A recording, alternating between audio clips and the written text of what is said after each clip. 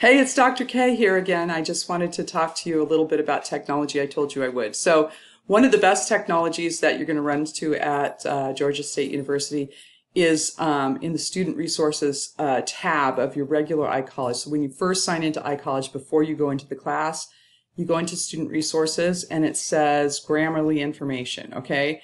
So, the first thing you're going to do is you're going to highlight this access code and copy it. All right. So um, right click and copy it. And then I'm going to go to this grammarly.com uh, um, thing. Now, I'm already signed up for Grammarly, of course, but you need to sign up. So you're going to go up here to this right-hand corner and follow up the sign up instructions. Make sure you only use your Panther ID. That's the uh, your name, you know, your ID at student.gsu.edu, that email. Only use that email. And then when you go in to verify it, you're going to come back to Grammarly and you're going to have another page and it's going to ask for that verification code. So that's when you paste that in. Okay, once you're in Grammarly, um, I'm going to go into mine. It should look something like, see if I can get in here. It should so look something like this. Um, now, what you can do is you can upload papers into it or you can cut and paste papers into it. I would not create my paper in it. The only reason I wouldn't do that is because I'm not sure if it would save your paper if like the electricity went out or something. I'm not sure if I would trust it to do that. So I would always make it in something else and then maybe cut and paste it in here. Um, but it will check not only spelling, but it'll check grammar, it'll check uh, usage, it will um, it'll even check uh, you know whether it's too wordy or if you can you know make changes. So I always ask my students, please, please run this through Grammarly before it goes to your peer response person. Okay, um, Grammarly is very effective. You get the premium account through GSU, so I think you're going to really enjoy using it. Um, and I think it's going to make your English a lot better too. Um, everybody has issues with English, so Grammarly can help address those.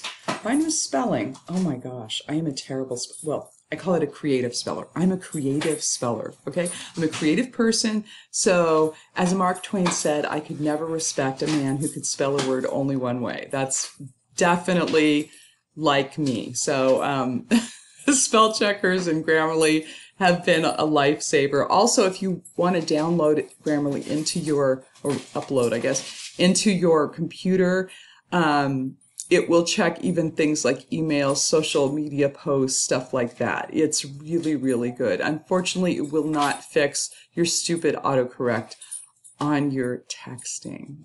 Yeah. Okay. All right. So let's go and look at a couple other things that you can get uh, from GSU.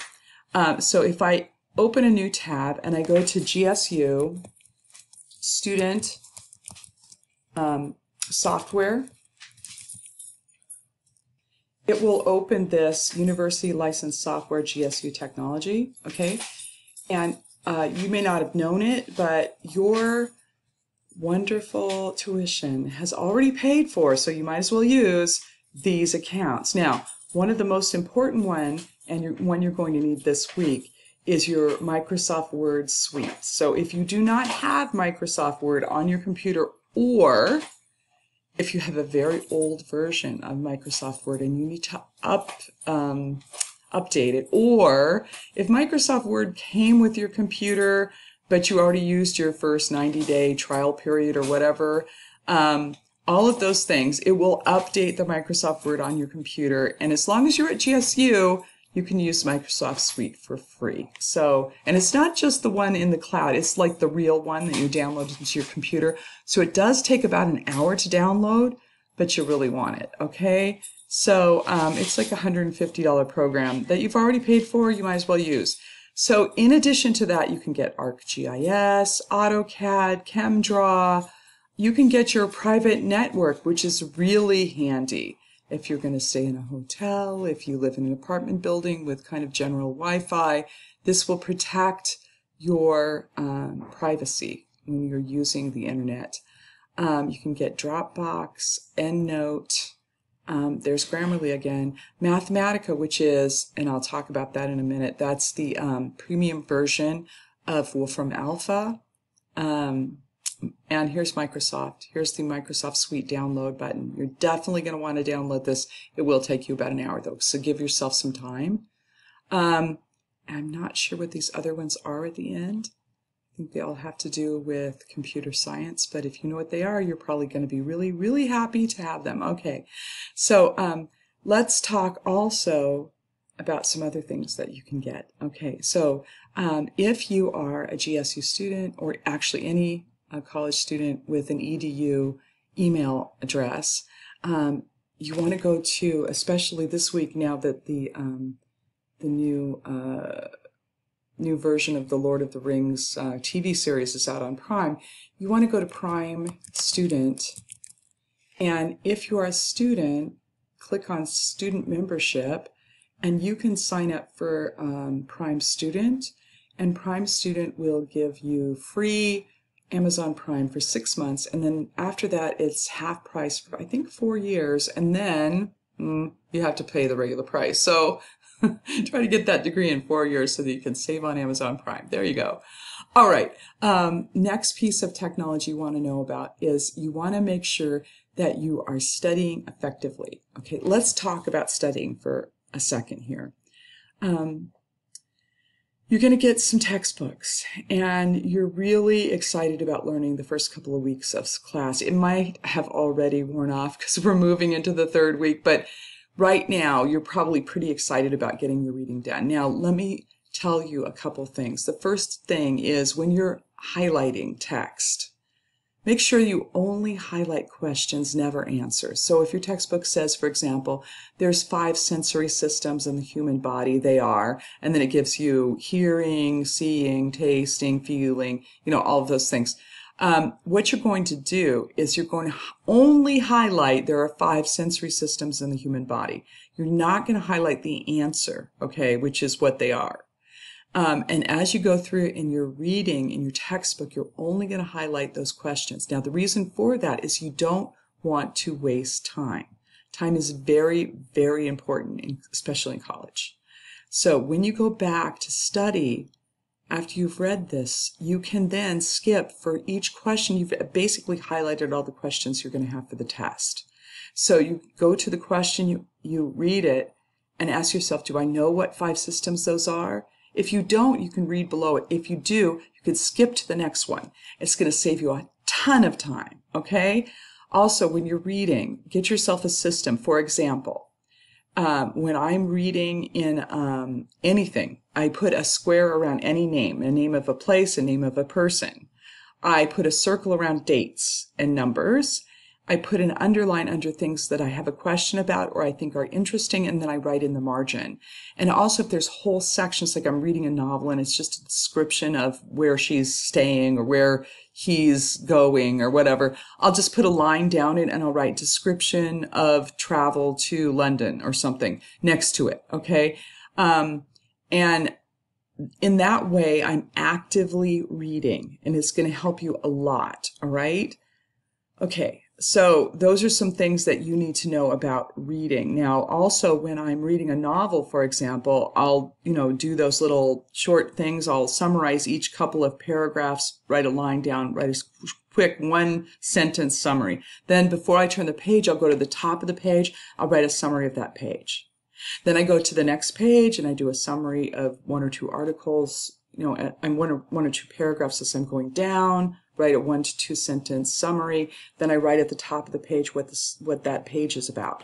That helps me not only to really connect with the reading and make sure that I'm always with it, but it also helps me find things if I need to find it for writing a paper or if I need to find it quickly in an open book test.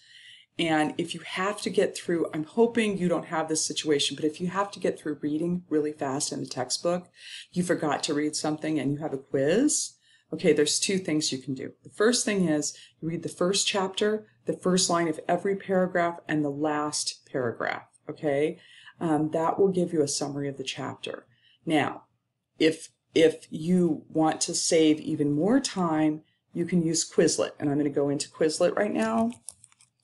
Quizlet, or you can use Study Blue or any other of these studying, but Quizlet's the one I use. So I'm going to go into Quizlet. Now, let's say I, I wanted to look up um, a uh, particular book, a particular chapter.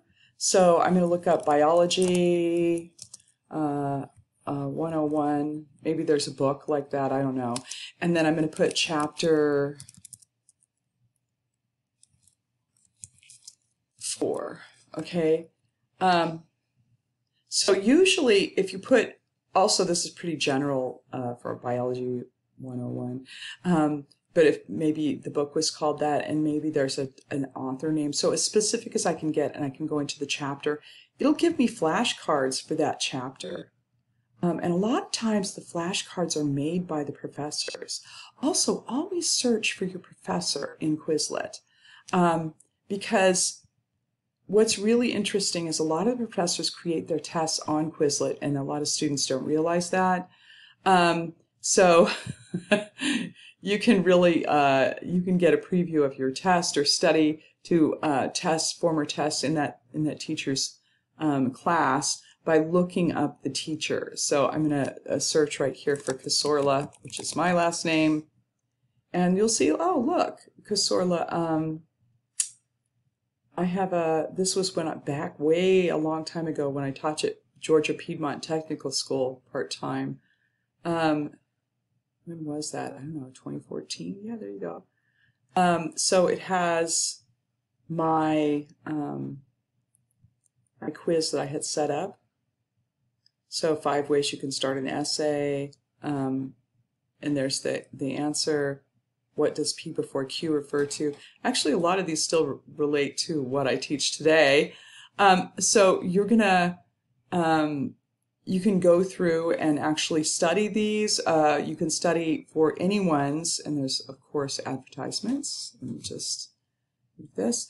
Okay, um, you can go through and study for anyone's test um, in a very quick way. That way, it'll help you a lot with your quizzes and stuff like that. Okay. Also, I'm going to highly recommend, uh, you don't have to do this for my class because I already have a pretty close connection with my students, but in other classes, you want to show up at office hours, either virtual office hours or regular office hours at least once in the semester. Early in the semester is good, so your professor will remember you. And just ask him a general question like, how is it best to succeed in your class? Do you have any advice for me? You know, kind of, kind of questions. Um, because that professor will then remember you and it always helps with grades if they remember that you came to their office hours. Okay, I hope that helps you so far. If you have any questions about technology or um, any anything we're doing in the class, always text me. And um, have a good weekend. Take care.